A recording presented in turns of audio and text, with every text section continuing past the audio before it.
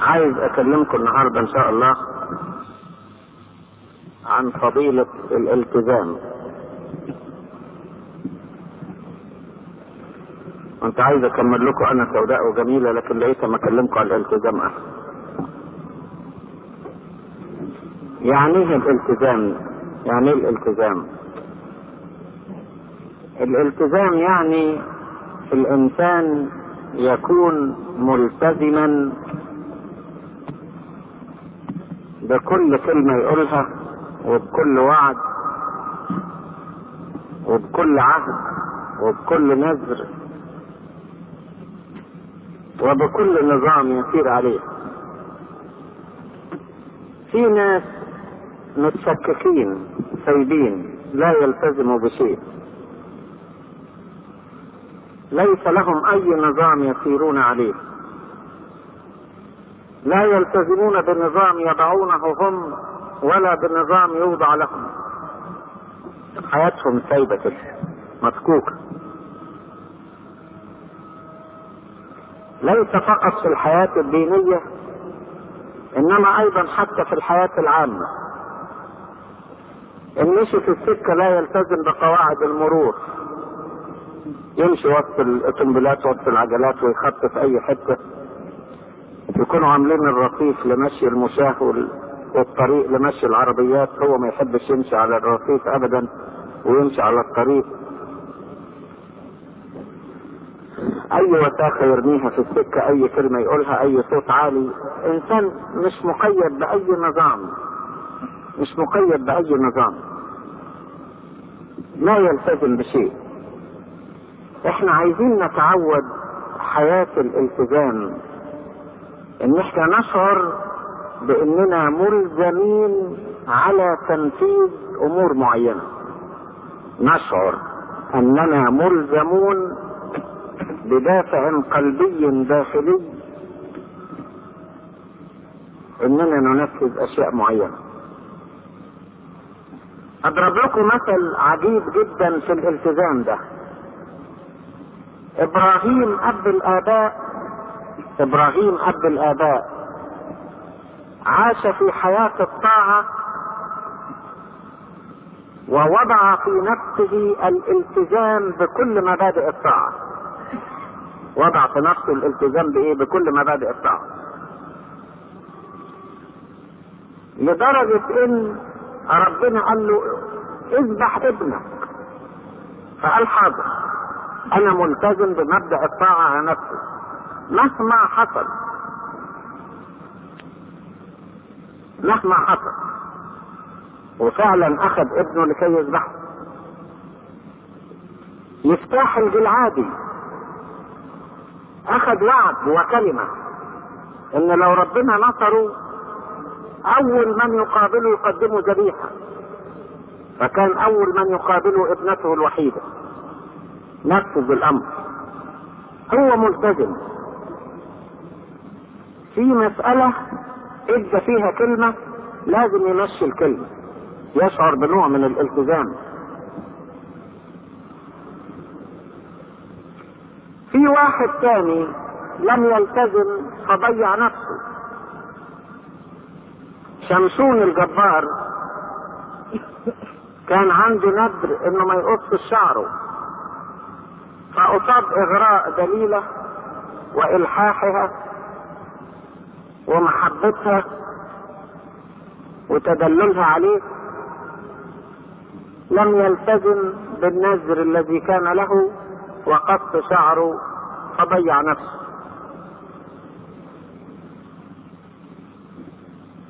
الإنسان الذي يحيا في حياة الالتزام يشعر بالجدية في الحياة بالجدية.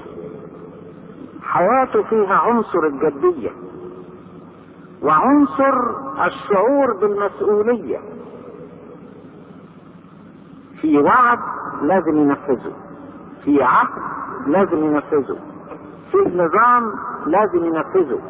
هو ملزوم إنه ينفذ العهد والوعد والنظام. في نوع من الالتزام واقع عليه. في عهود إحنا بنديها كتير بيننا وبين ربنا ولا نلتزم بشيء منها ولا نلتزم بشيء منها. لأننا تعودنا إن إحنا نعيش بعيدا عن الالتزام. يحدث في الإنسان في حياته بعض مشاكل أو بعض ضيقات. تضغط عليه ضغطا شديدا ويشعر بالتعب المر. فيتعهد أمام الله. يا رب لو نجيتني من الضيقة دي أنا هعمل وأعمل وأعمل. يا رب لو أنقذتني أنا أعمل وأعمل. وينقذه الله وينجيه ولا يلتزم بشيء. كما لو كان كلامه في الهواء. وعهوده هراء ما يهموش لا يلتزم بشيء. في المعمودية جحدنا الشيطان وكل أفعاله وكل حيله وكل سروره ولم نلتزم بجحد الشيطان. في التناول نقول له يا رب بموتك نبشر وبقيامتك المقدسة وصعودك إلى السماوات نعترف نسبحك نباركك ولا نلتزم بشيء من هذا الكلام. ولا نلتزم. بل إن إحنا في صلواتنا نقول بعض العبارات ولا نلتزم بها أيضا. نقول له اغفر لنا كما نغفر نحن أيضا. ولا نلتزم بهذا الكلام. أهو كلام في الهوى. اما هو كلام.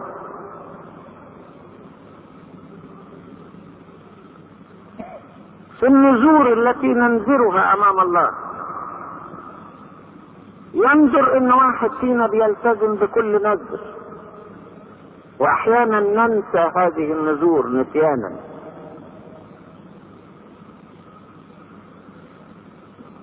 بينما النذور عهد بيننا وبين الله ولكننا لم نلتزم به.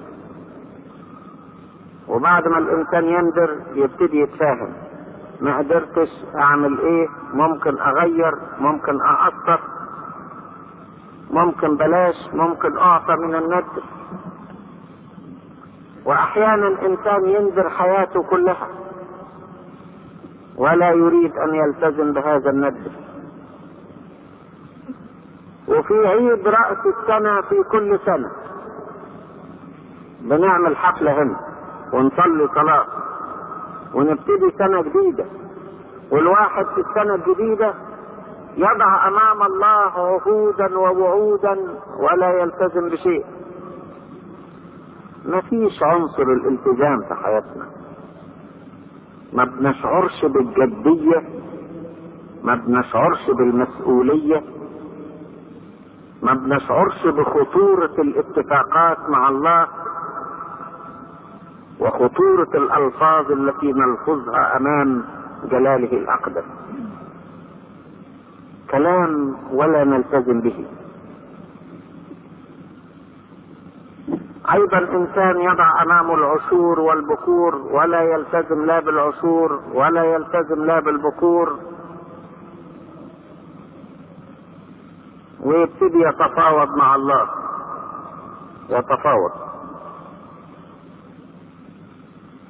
ممكن الشيء الفلاني نخصمه من العشور وممكن الشيء الفلاني نخصمه. ده واحد مرة قال لي قال لي ممكن البقشيشات اللي نديها الواحد مش عارف بقشيش يديها الواحد فراش في المصلحة ولا في قهوة ولا في غيره نحسبه من العشور عشور لا أنت عايز تعمل كده قصاد الراجل إنك جيبك مليان وتفتخر وتدي وتعمل وتخصمهم العشور ومين قال إن ده راجل فقير؟ في أفقر منه. لا يريد أن يلتزم بشيء. الثبوت يوم الرب. ده يوم الرب ده عهد بيننا وبين الله. من فينا بيلتزم التزاما كاملا بيوم الرب حياة سايبة مش ملمومة. مش ممسوكة. مش ملتزمة. حياة ليست على مستوى المسؤولية. الإنسان الذي عنده فضيلة الالتزام هو إنسان محترم من الكل. يقول لك فلان ده كلمته كلمته أحسن من مئة اتفاق مكتوب وموثق في الشهر العقاري. كلمته زي السيف مش ممكن يرجع فيها بلاش حتى يقول لك أيوه. لو قلت له موافق على الموضوع الفلاني وهزلك راسه كده علامة إيجاب يبقى ملتزم بهزة الراس. لا يرجع فيها أبدا. لا مضى ولا في شهود ولا حاجة رسمية لكن ملتزم. ملتزم لأنه حياة الالتزام فيها نوع من الرجولة واحترام الكلمة واحترام الاتفاق واحترام العهود والوعود واحترام النظام يلتزم. أنت تلتزم بأمرين. بأشياء تفرضها على نفسك وتتعهد بها. وبأشياء تفرض عليك من جهة النظام العام أو من جهة الوصايا الإلهية. ولا بد أن تكون ملتزم للأمرين.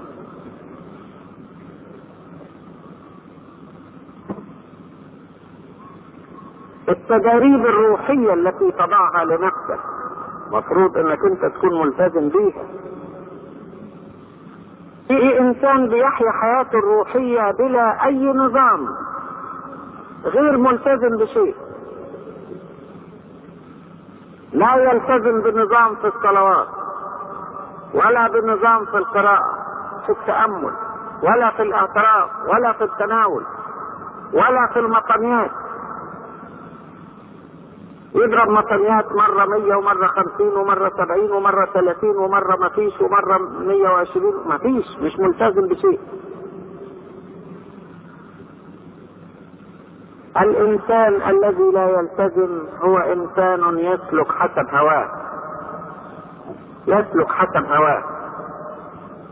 بلا حدود بلا قيود بلا شروط بلا نظام. لا يلتزم بشيء. وجايز اب اعترافه يديله أنظمة ولا يلتزم بها. ويتفق على اتفاقات روحية ولا يلتزم بها. حتى في الخدمة تلاقي واحد بيخدم.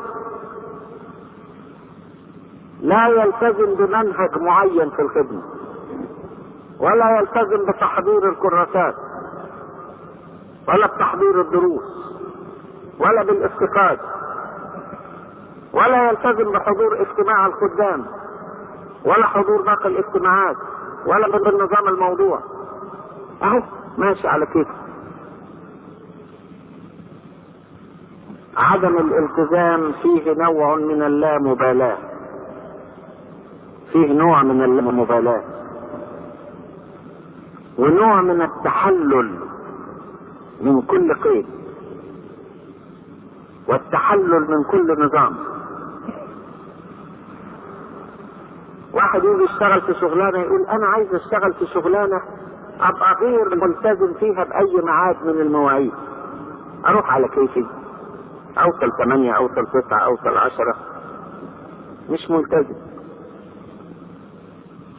إزاي؟ مش عايز ألتزم بشيء.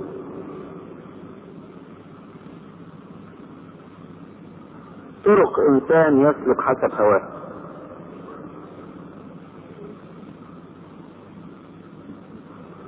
حتى في المعاملات.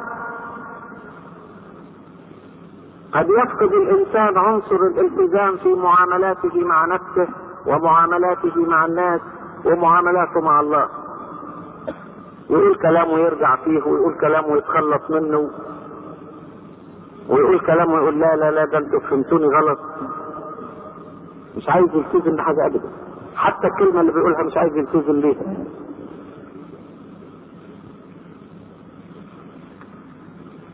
حياة الالتزام تحتاج من الإنسان أن يضغط على نفسه وأن ينفذ حتى لو تعب. يحترم كلمته يحترم وعوده يحترم النظام.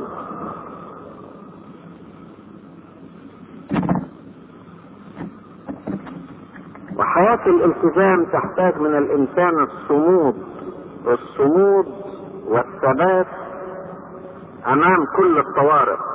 يعني إيه؟ يعني الشخص اللي اللي مش عايز يلتزم في حياته تلاقي أي عذر يتشعلق فيه يقول غصب عني في أعذار. أي عائق أو طارئ يتشعلق فيه يقول في عوائق في طوارئ. يتوضع أمامه مثلا نظام للصيام. يقول لا ده أنا بصوم تمام. وبعدين بس النهارده وأول امبارح ما قدرتش أصوم عشان قمت تعبان وصحتي مدلوخه وأول أول ما قدرتش أصوم عشان كان عندنا دروس وعندنا امتحانات ولازم أكون متغذي وقوي وفكري مظبوط. الله. كل يوم عذر وكل يوم تبريرة. وكل يوم حجه من الحجج ومفيش التزام ابدا. لا يلتزم بشيء.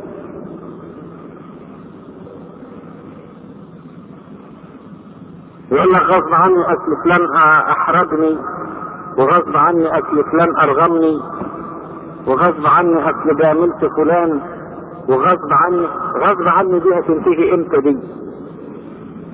ومتى يكون هذا الإنسان ملتزما بشيء؟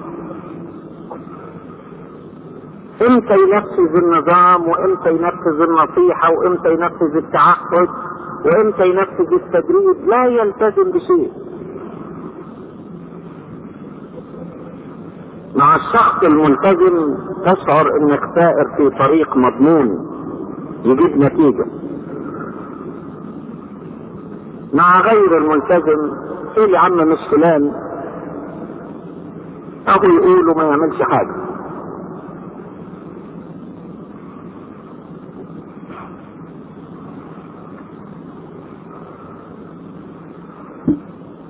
الإنسان الذي يعيش في حياة الالتزام يعيش في خط منتظم وفي خطوة تقود إلى خطوة وهو إنسان يحترم نفسه ويحترم كلمته ويحترم نظامه ويحترم عقوده ويحترم اتفاقاته. ويحترم معاملاته وهو في نظر الناس محترم من الكل.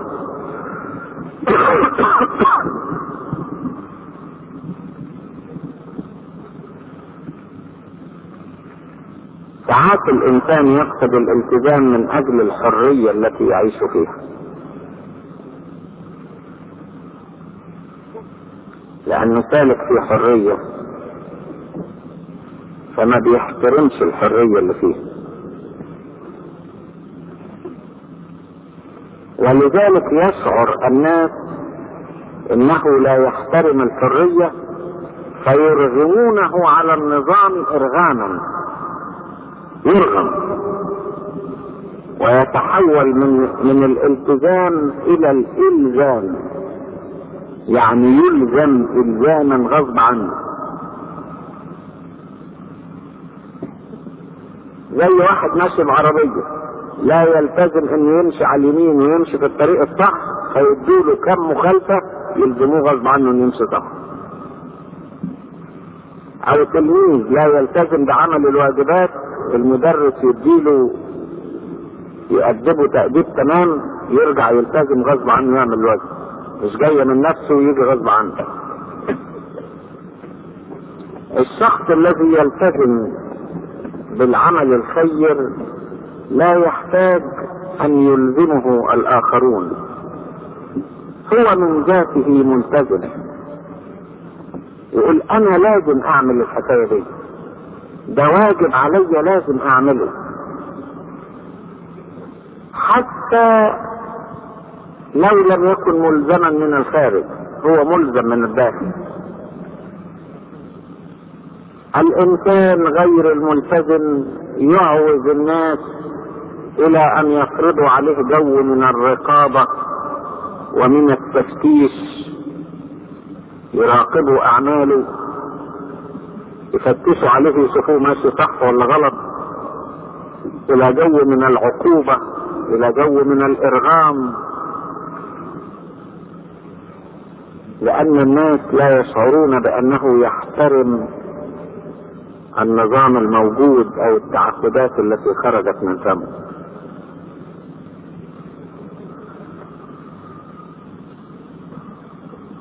نحن نود أن نحيا في حياتنا الروحية حياة الالتزام.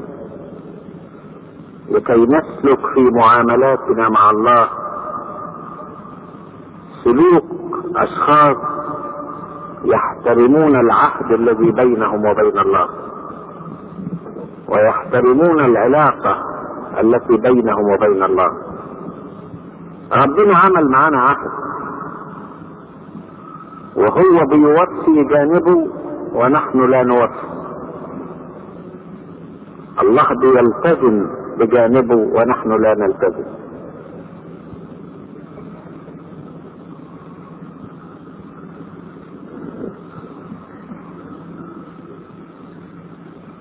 الشخص الذي لا يلتزم في حياته نتيجته الضياع.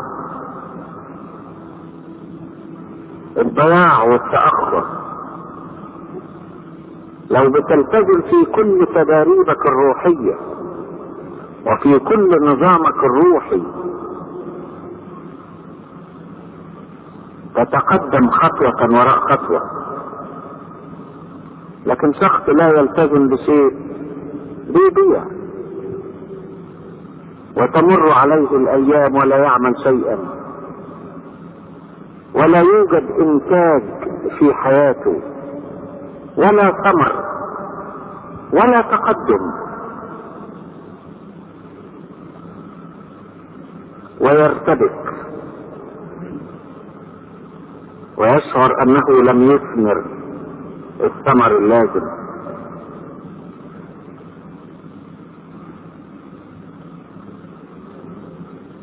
عدم الالتزام هو المشكلة التي وقع فيها آدم منذ بدء الخليقة. أعطاه الله وصية فلم يلتزم بها. وعمل معه عهدا فلم يلتزم به. فكانت النتيجة انه ضاع وضيعنا معه ما فيش نوع من الالتزام لما يكون عندك أشخاص وتعطيهم نظاما وتشعر أنهم سيلتزمون به؟ إنت تنام مستريح ومطمئن. إنت تنام مستريح ومطمئن. شاعر بأن كل شيء هيمشي مظبوط. لكن توضع نظام وتقعد تفتش وتجري وتشوف يا ترى عملوه ما عملوش في حد نفذ ما نفذش التزم بيه ما التزمش. نوع من الضياع.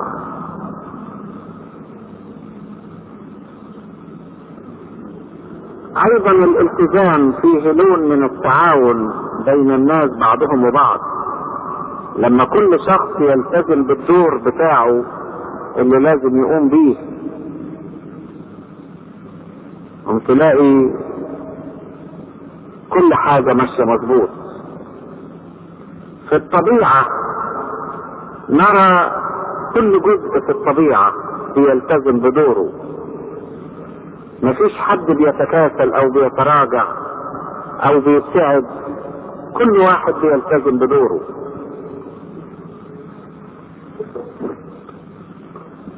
جسم الإنسان كل عضو في هذا الجسم بيلتزم بواجبه. الفم ياكل تلاقي المعدة ابتدت تشتغل. ما قالتلوش لا أنا مش فاضيه النهارده ملياش دخل بيه مش ممكن. الكبد يفرز إفرازاته المرارة بتفرز إفرازاتها العمليات كلها بتخدم بتشتغل الدم بيجيله كل عضو من الأعضاء. مفيش عضو يقول له أنا مالي. أنت مالك؟ أنا مش فاضي مش ممكن. كل عضو يلتزم بواجبه. كل عضو يلتزم بواجبه. ويقوم بواجبه على أكمل وجه بكل إمكانياته. عنصر التزام عجيب موجود عند جميع أعضائه. لأن الطبيعة خلقها الله وخلق فيها عنصر الالتزام والقيام بالواجب. صدقوني حتى الجمادات بتلتزم بواجبها. هات ترمومتر كده وحطه في فم واحد. تلاقي الزيبة قاعد يطلع على طول ويتحرك لغاية لما يديك الرقم المظبوط. لا يمكن إن هو ما يقومش بواجبه. كل حاجة بتقوم بواجبها.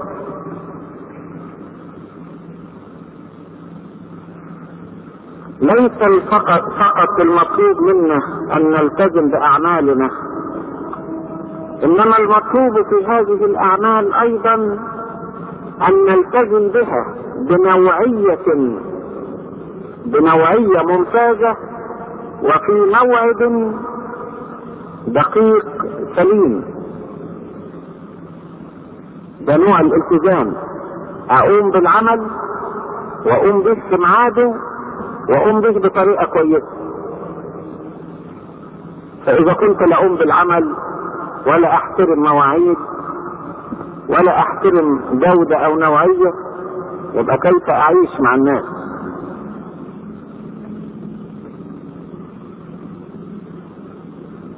الالتزام عدو التراخي. عدو التراخي.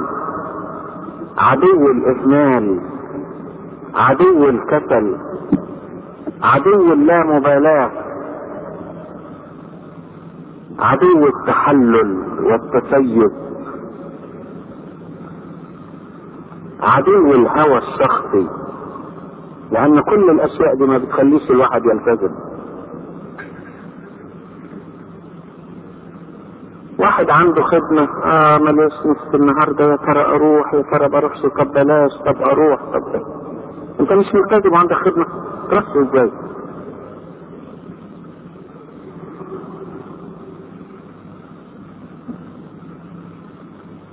في أشياء كثيرة بيسبب عدم الالتزام حرجا شديدا جدا للمسؤولين. حرجا شديدا جدا للمسؤولين. تصوروا واحد عمل حفل ومخلي ده يمسك الموضوع ده وده يمسك الموضوع ده وده يمسك ده وده يمسك ده وده عليه البرنامج الفلاني وده عليه النظام وده عليه التحضير وده عليه التذاكر وده عليه النظافة وده عليه الكلمة الفلانية وده عليه الدخول والخروج وده. كل واحد بيقوم بيلتزم بواجبه وم كل حاجة تطلع مظبوطة. لو شخص ما التزمش يضيع المجموعة.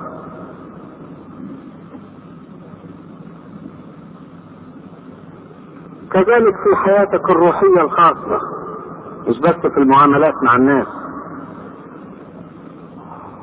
لو وضعت لنفسك لنفسك نظاما تلتزم به في الميعاد الفلاني لازم أصحى تكون ملتزم بهذا. لابد إن أنا أصلي قبل ما أفطر وقبل ما أخرج من البيت تكون ملتزم بهذا. لابد إن أنا أضرب مكانياتي لما أصحى من النوم. لابد إن أنا أقرأ الكتاب كل يوم كذا صفحة أو كذا إصحاح. ملتزم بشيء معين. لما تيجي تحاسب نفسك وأنت ملتزم تلاقي كل شيء ماشي مظبوط. زي الساعة.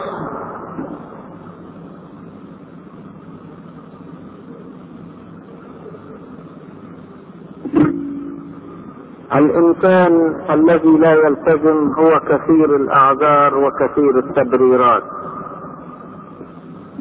ومن بحث عن عذر وجده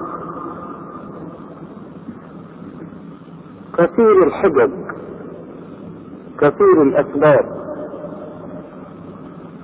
وأحيانا ينتقد مسألة الالتزام. يقول لك التزام إيه هو بتاع إيه؟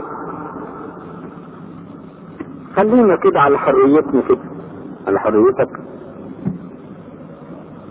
نحن لا نعيش تحت الناموس بل تحت النعمة ويظن إن الالتزام نوع من الناموس.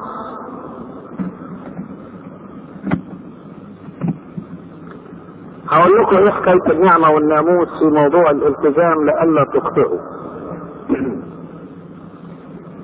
الشخص الذي تحت النعمة هو الذي يرتفع فوق مستوى الناموس ويرتفع فوق مستوى الوصية.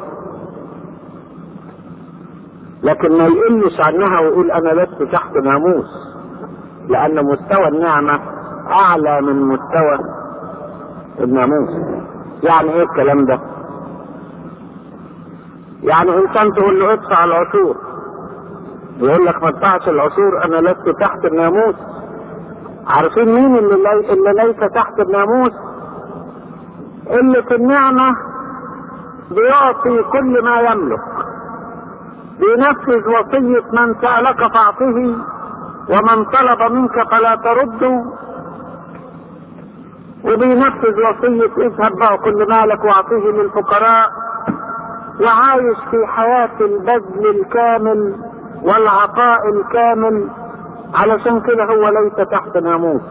إيه حكاية العشور بتطلع؟ دي سبناها من زمان وارتفعنا فوق مستواها ودخلنا في الحب الذي يعطي بلا حساب. عشان كده مش تحت ناموس لأنه ارتفع فوق مستواه. واحد مثلا تقول له صلي السبع صلوات يقول لك أنا مش تحت ناموس. عارفين مين اللي يقول مش تحت ناموس اللي عاش في الصلاة الدائمة. اللي عاش في الصلاة الدائمة. دخل في وصية صلوا بلا انقطاع. صلوا كل حين ولا تملوا. بيصلي ليل ونهار وهو ماشي وهو رايح وهو قاعد وهو نايم. وهو موجود وسط الناس وهو لوحده. حياته كلها صلاة.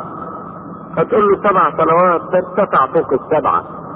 وفوق السبعين فدخل في حياة النعمة. لكن اللي ما وصلش ملزوم بالسبعة.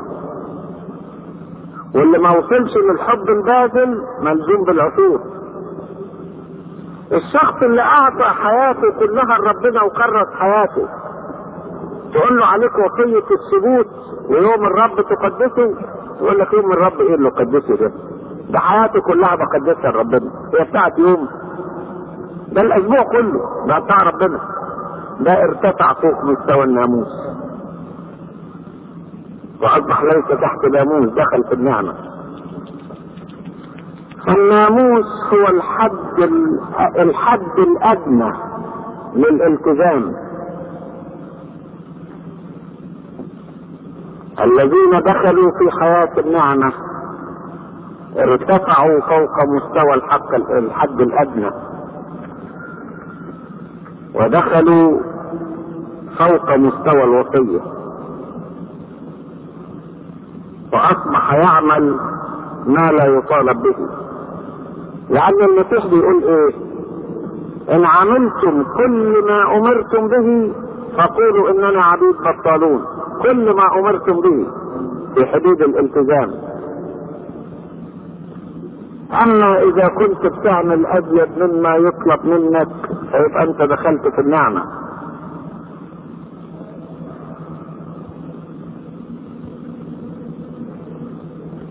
أنت محتاج أن تضع قيودا لنفسك لكي لا تفلت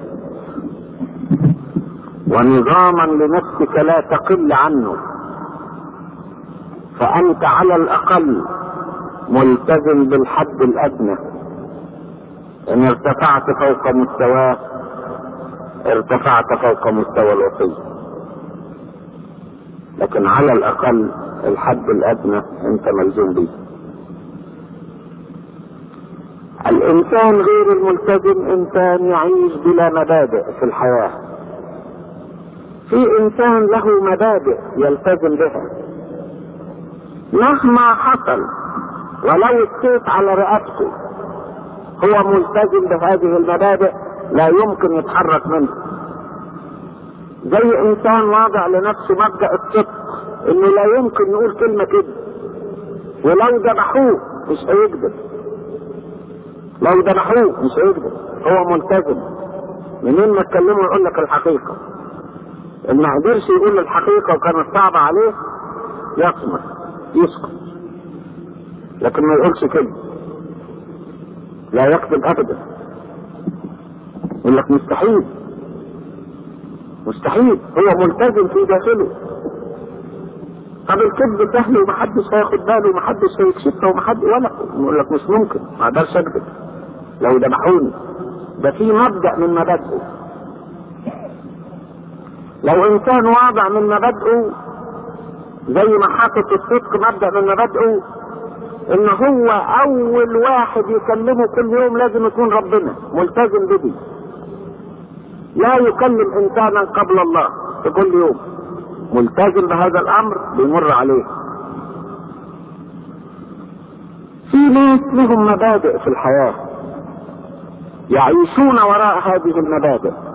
يلتزمون بها. لو أدى الأمر أن يضحوا حياتهم من أجلها يضحون. وهم ملتزمون بها لا ينحل لا يتسيب لا يعتذر لا يبرر مسلكه مش ممكن. أنا ملتزم بهذا الخط. زي الإنسان اللي يلتزم بالكلمة اللي يقولها يقول أنا قلت كلمة ما أقدرش أرجع فيها. جت عوائق جت موانع مش ممكن الكلمة ما أقدرش. ملتزم التزام. عيشوا في حياة الالتزام لكي تستطيعوا أن تسلكوا بنظام وبترتيب في حياتكم الروحية ولإلهنا المجد الدائم إلى الأبد.